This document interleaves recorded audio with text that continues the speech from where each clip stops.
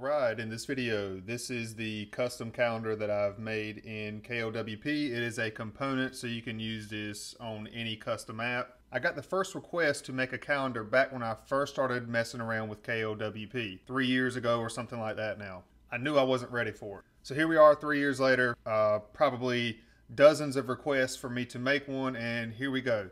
And this is what I wanted my calendar to do. I wanted to be able to go to any month, any day of any year. I wanted to be able to tap on a particular date and I wanted to see the event or events for that day. And not only that, I wanted to be able to tap on that event and it opens up my Google Calendar app to that specific event. Well, I think I figured it out. So right now, yes, it is August 24th, 2018. And yes, you can do some basic styling with the calendars. You can hide the overlap dates from particular months. You can move things around. As you can see, my agenda is down here at the bottom for these.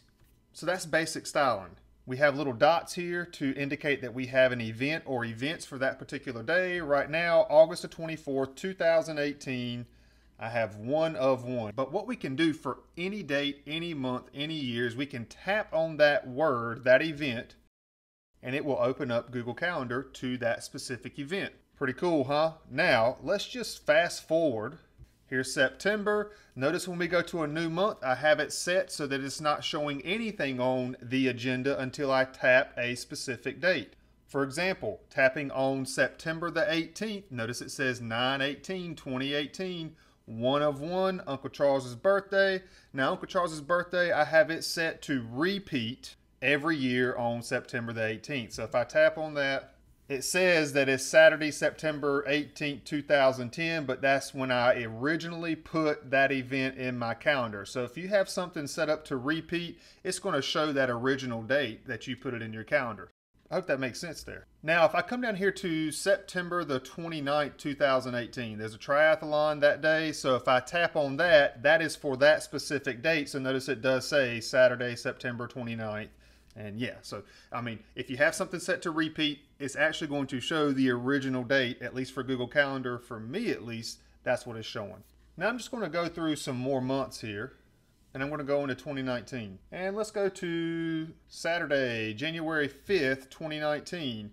I have one of two events. So we have a birthday on this day. That must be one of the folks over on my Google Peeps in G+. If I tap on that, it will open up that specific date, as you can see there. And we have two events, so I can use the arrows to cycle through them. We have another birthday on that particular day. It'll open up that specific one. This is what I wanted my calendar to do. Now, some bugs that I have worked out. Today is August the 24th, and it's not January the 24th, 2019. So the today indicator is not showing. That's something that I had to work out. And also something else I had to work out, many bugs actually. So if you find any more bugs, please leave a comment below. But something else I wanted to happen was, you know, right now I'm on event two of two for January the 5th, 2019. Well, if I go to maybe January the 8th, notice it reset back to one of one. Even though I was just on event number two from a different date, I had to set a code to make it go back to event one if there was only one event for that particular day. As a matter of fact, I always have it regardless of how many events you have. Let me find one that has more than one. One of six. So it's always going to reset to the first one. And then if you tap on a date that does not have an event, it's going to say nothing scheduled.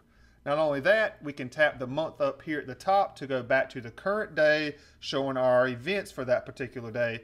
And I hope you see how useful this is. Now, in terms of explaining everything, if uh, you thought my weather graphs series was long, if you thought my Bitcoin graph series was long, if you thought my Google sidebar series was long, those don't even hold a candle to this. I'm going to tell you. But what I do have over here is a document that I will put inside of my KLWP CraftMath stuff to share folder.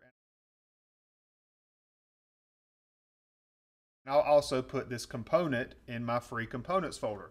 Look for CraftCal V1. I will update that. If there's any bugs, I'll start doing a V2, V3. Just make sure you get the current version. Once you open up this component, there are some globals that you can adjust that are non-destructive such as the font, whether you want Sunday to be first. Check out this one here. I got Monday being first. The OLAP color, that's the overlap from previous months. The normal color, that's this lighter blue that you see.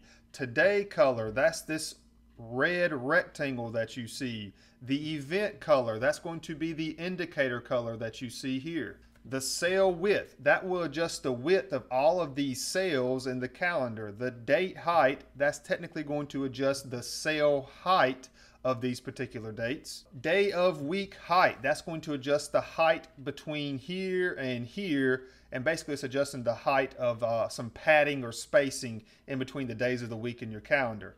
The event size, that will adjust the size of the event indicators. The event up down, you can move this dot up or down. You can also move it left or right inside of each cell. Just don't go too far because you will notice your calendar starts to space out a little bit if you go too far up, too far down, too far left, or too far right. And we can also do that for our numbers, the actual dates. We can go up or down, we can go left or right. And to show you what I mean, I mean, here we have the number to the left and the event indicator to the right. If I come back to this one, it's more like it's centered in the cell where I have the date above the event indicator. Text size, that will actually adjust the way I have it set up. It's going to adjust the size of everything based on some percentages. Today's shape, I have a circle here, I have a rectangle there, and more of a square shape for that one. And then the GV weekdays. You can change those to whatever you want, assuming you're going to use Sunday through Saturday. Or for those of you who don't speak English, you can put whatever days of the week you want inside of there, and literally you can pick days that you want to use. That's what I have inside of that list global right there, as a matter of fact. Now, the destructive stuff. I don't recommend messing with them. There's a lot of stuff in there and there's a lot of codes. And some of the codes are short. By short, I don't mean one line. Maybe there are two or three lines or something like that inside of the Kustom editor. But what you will see are some long ones. GV row 1, for example, and this one right here is uh, probably the longest code I have done in Kustom, that one right there. This code here goes all the way down there to the end of that blue. I don't know how many lines that is, but that's what determines, that code there determines what date goes on these other rows other than row one. Row one I had to treat a little bit different because I had to determine the first day of the month, what day it occurred on, and then the rest of these rows kind of built off of that. You will notice that I'm using SI module index quite a bit let me go ahead and show you why right now. So I have three different calendars, same component. If I go into CraftCal V1 and we have everything and then we have calendar rows. So suppose I wanted to come in here and I wanted to, you know, make a drastic change to every single cell in my calendar. Let's just suppose for some weird reason I wanted to uh, put a dollar symbol in every single one of these cells or just something you wanted to change. Well, that's why I'm using SI module index. So what I'm going to do is I'm going to click on this first stack group and it's going to be the first row. Now what we can do, and you may think, oh, I'm about to ruin the whole thing. No, this is the power of SI module index. I'm going to delete everything except for that first one. I'm going to come into that overlap group that has the potential today indicator, uh, the number, the cell, the event indicator, the button for the agenda where we can tap that event and then we can go even further with that. But I'm going to add something else. I'm going to add a font icon and what the heck, let's just do a star. I said I was going to do a dollar symbol, but that's not what I'm really after here. And let me just adjust this paint to where it's semi-transparent so that way we can see whatever the other stuff is. All right, suppose I want a star on every single cell of my calendar. Right now I only have it on one. Well, here is the power of SI module index, M index. If I take that entire overlap group that has the text, now this star and all that other stuff, if I copy and paste, and I'm going to go all the way across, you will notice that the star is showing up. Not only that, it's updating the numbers like it should.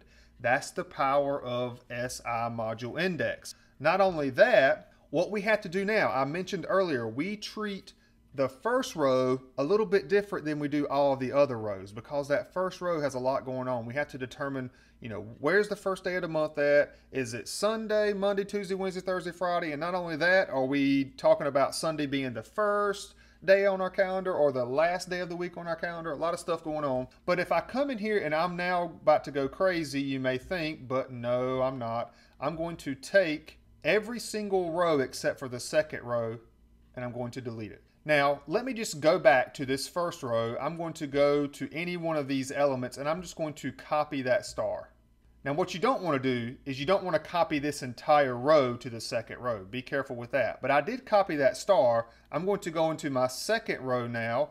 I'm going to delete everything in my second row except for the first element. So boom, all I have is that five. Go inside of there, I'm going to paste that star. So now I'm going to back out of here. I'm going to take this entire overlap group and I'm going to copy and paste just like I did on row one. We now have stars on our calendar. But now we have to take this row, which I'm calling my other rows, we treat this different than row one. I can take that entire row now, folks, and watch this. I can copy and paste, and I'm going to do this six times because that's the most number of rows that a calendar can have depending on the number of the days in the month, when the first day of the month is, and all that stuff. But what you'll see now is that we have stars everywhere. We still have our numbers correctly. We still have the today indicator. Yeah, I know. I hope you enjoy this. Uh, pick it up from my free components folder. I look forward to seeing what type of customizations and styling you make to it. And that's it for this video. I hope it helped.